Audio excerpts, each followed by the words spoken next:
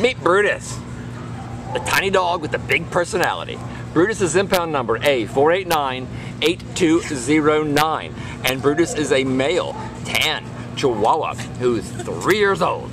Look at him, he's curious, he's enthusiastic, he's on the hunt. He came to the Downey Animal Care Center as a stray on November 17th, and he wants to get out of here as soon as possible. We found him in Lynwood. He weighs 14 and a half pounds, which is an ideal size.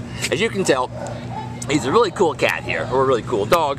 Um, we, we, we love him. Uh, he's got he's, he's spry, he's curious, uh, he, he's, he's very affectionate. Oh, look at him. He's a kissing guy. So, Linda, anything else you'd like to add about Brutus? I mean, he kind of sells himself. He'd be He great. does yeah. sell himself. He is an awesome little guy. And he has a little dance, but don't think he feels like doing it right now. He dances for his treats. He is a little treat bandit. He will take treats all day long. He is very sweet and good with the other dogs. He's He's, got kenneled, he's so kenneled much with three other dogs, isn't he? He's kenneled with three other dogs. Yes, he is, and he's a good boy. Come here, He- and he's looking for more treats. Right. and you get to see him from all angles here. So his name is Brutus. Let's get Brutus out of here.